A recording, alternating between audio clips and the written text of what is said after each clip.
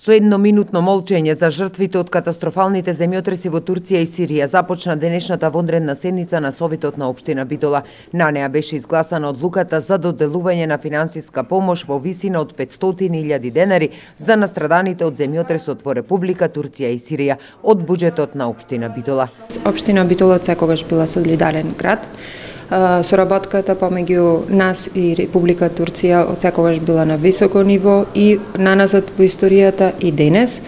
Ова е најмалку што можеме да направиме во духот на солидарноста луѓето кои што се настрадани и луѓето кои што им треба секаква помош, сметаме дека како општина требаше да им излеземе во пресред.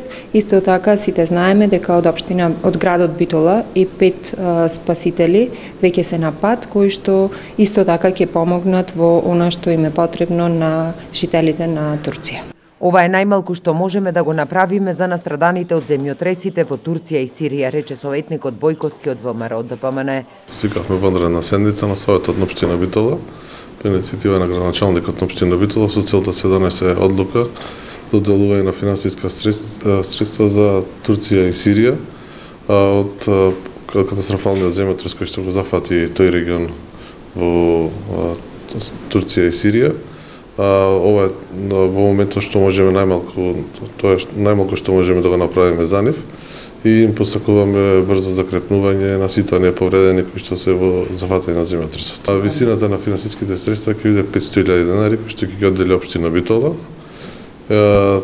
Тоа е бидејќи општина Битола исто така избратимена со градот Бурса, кој што за среќа не е зафатен од овој катастрофален земјотрес и а, оние релации кои што ги има општина Битола со одбратемениот град Бурса и Република Турција траат веќе 28 години и се надеваме дека овие скромни финансиски средства кои што ќе доделиме дека ќе одат во навистинско место.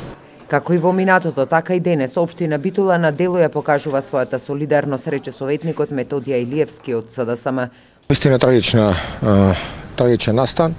А, Обштина Битола покажала е во до солидарности, така треба и овој пат, бидејќи Република Турција е пријател на Република Северна Македонија.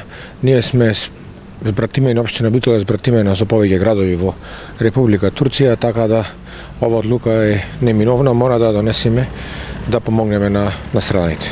Сочувство до семејствата на жртвите упатија и советниците од Левица Прво сакам да изразам сочувство до настраданите од земјотресот во Турција и во Сирија. Одделуваме средства, иако се уште моментално не знаеме колку средства ќе бидат одделени од страна на општина Битола. Советниците во дредната седница ја одржаа на иницијатива на градоначалникот на Битола Тони Коњановски и председателката на Совет Габриела Илиевска. Инако од Битола од Дирекцијата за заштита и спасување замина тим во регионите погодени од земјотресите. Доколку се појави потреба, како што вчера рече градоначалникот Тони Коњановски, во целосна подготвеност за интервенција се и високо професионалните екипи на територијалната противпожарна единица од Битола, кои се обучени за спасување од урнатини и земјотреси.